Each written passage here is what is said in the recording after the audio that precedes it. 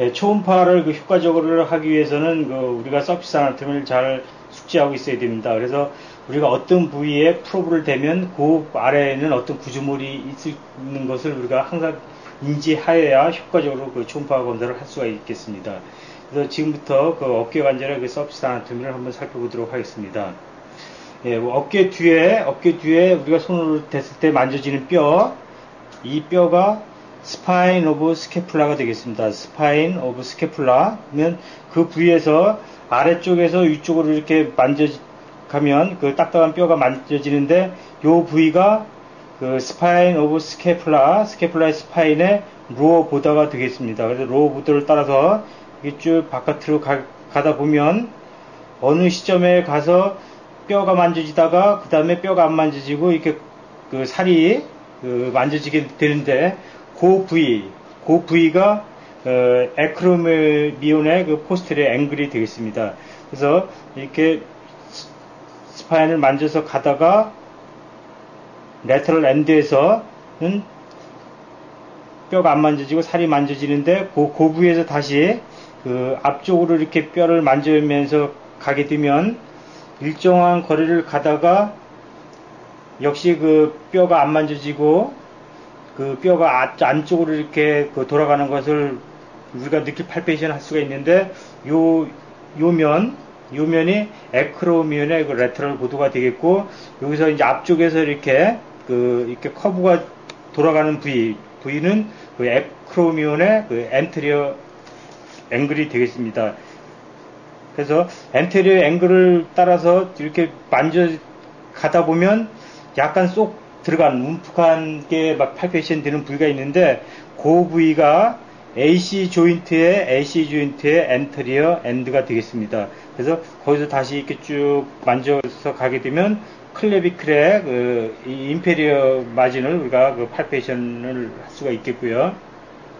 그다음에 이제 다시 뒤쪽으로 와서 예, 여기 이제 spine에 아, 아까는 그 lower border를 따라서 palpation 했는데 upper border를 따라서 아래쪽으로 이렇게 palpation 하게 되면 역시 그 딱딱하게 그 bone이 만져지는데 이것이 spine의 그 upper margin이 되겠습니다. spine을 upper margin을 따라서 이제 바깥으로 이렇게 쭉 나가다 보면 소프트 소프트하게 만져지다가 어느 시점에 가서 이렇게 딱딱하게 딱 그 팔페이션 되는 본이 팔페이션이 되는데 팔페이션 되, 되는데 그 부위를 잡뒤로 이렇게 움직여 보면 또 앞쪽에서도 어떤 본이 그 또 팔페이션 되는 것을 우리가 느낄 수가 있, 습니다 그래서 역시 그 고부위를 따라서 이렇게 팔페이션에서 안쪽으로 들어갈 수가 있는데 이 부위가 그 scapula의 그 posterior margin이 되겠습니다. 그래서 scapula의 posterior margin과 그 spine의 upper margin이 이렇게 acute한 삼각형 모양으로 이렇게 교차하게 되는데 이 교차점, 이 교차점이 AC 조인트의 그 포스테리어 엔드가 되겠습니다. 그래서 이 두 지점을 연결하면 고 부위, 고 부위가 AC joint가 되는 겁니다. 그리고 이제 우리가 대강 러프하게도 AC 조인트를 위치를 알 수가 있는데 우리가 어깨 위에서 가장 톡 삐져나온 부위를 AC joint라고 생각하기 쉬운데 사실은 가장 톡 삐져나온 이 부위는 클레비클의 레터럴 엔드입니다. 클레비클의 레터럴 엔드, 엔드이고 그 레터럴 엔드의 저스트 레터럴의 레터럴이 그 AC 조인트가 되겠습니다. 그래서 우리가 그 부위를 손가락 대고 이렇게 만져보면 아, 그 joint line을 우리가 palpation을 할 수가 있겠습니다. 그래서 AC joint 그 검사할 때 probe를 요다 대고 또 AC injection 할 때 그 중요한 injection point니까 우리가 잘 palpation 할 수가 있어야 되겠습니다. posterior acromion의 posterior angle도 우리가 그 intra-articular injection은 posterior approach 할 때는 여기서 이제 injection을 하기 이렇게 하기 때문에 그 부위를 잘 palpation을 할 수가 있어야 되겠습니다. 네. 그리고 이제 그 하나의 그, 그 랜드마크 이제 이게 인모바일 랜드마크가 되는 것이고요. 그다음에 그 인프라 클레비클라 포사에 포사에 이렇게 움푹 들어간 인프라 포사에 손가락을 댔을 때 손가락을 댔을 때 바깥으로 밀을 밀게 되면 딱딱하게 만지지는 본이 있는데 본이 있는데 이렇게 그 마진을 따라서 돌게 되면 이렇게 동그랗게 만져지는 우리가 bone을 palpation 할 수가 있는데 그것이 coracoid process가 되겠습니다. 그래서 infraclavicular fossa에 fossa에는 coracoid의 medial margin이 된다. 그거를 우리가 해서 그, 그런 생각을 가지고 그 coracoid를 palpation을 해야 되고요.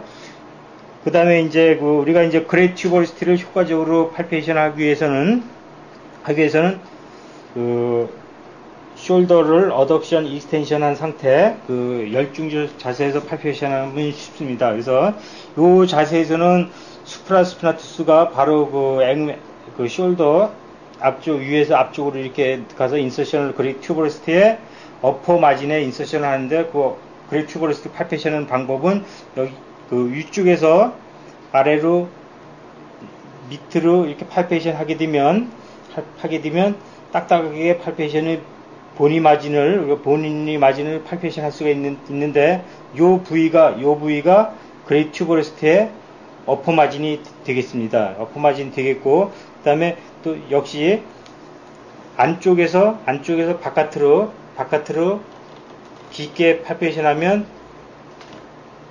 이렇게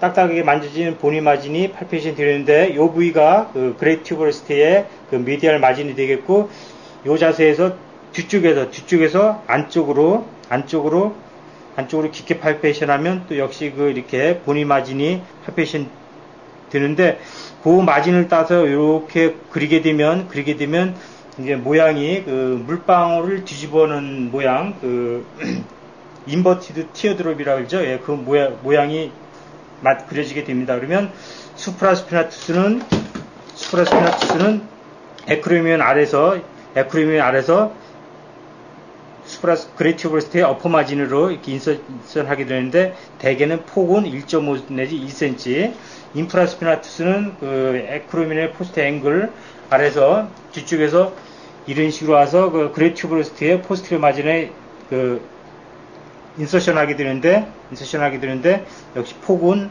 2, 2 내지 2.5cm 정도가 되겠고요.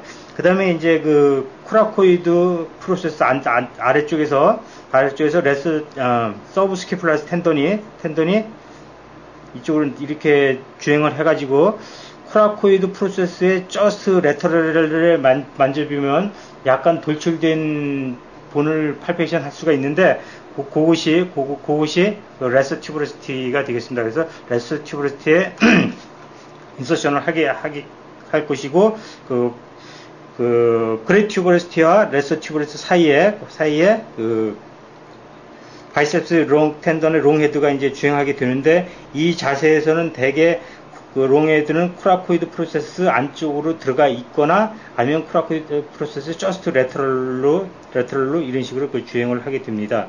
그래서 우리가 이제 그, 그 서비스 아나토미를 충분히 이해하고 아 그 거기에 프로브를 대면 그 아래 뭐가 있으니까 어떤 모양이 볼 것이라는 것을 항상 인식하지 않으면 우리가 효과적으로 그 초음파 검사를 할 수가 없습니다.